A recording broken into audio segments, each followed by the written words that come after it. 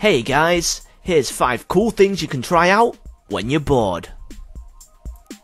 So you can make your phone into nearly a microscope by using an old lens from the inside of a camera or the lens from an old CD drive. Check it out.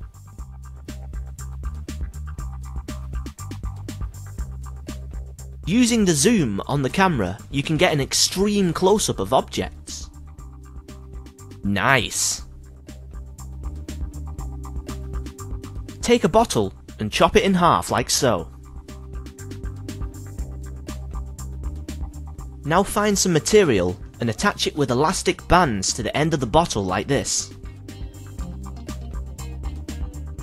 Dip it in some bubble solution and now you've made whatever this is supposed to be.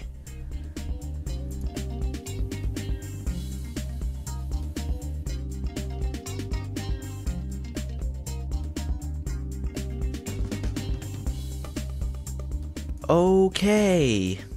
Find a strike lighter and remove the striker wheel and take out the flint and spring from underneath.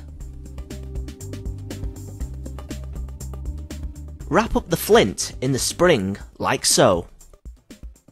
Now heat up the flint until it turns red. Once the flint is burning red, throw it at the ground to make a mini firework. Nice! Fill up some wine glasses with water and use black and white images to create some really cool effects using refraction.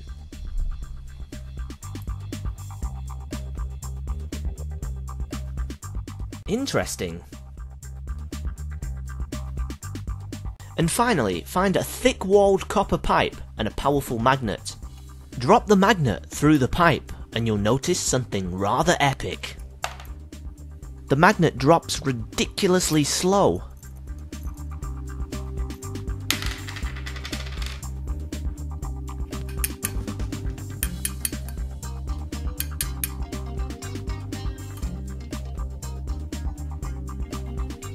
Cool.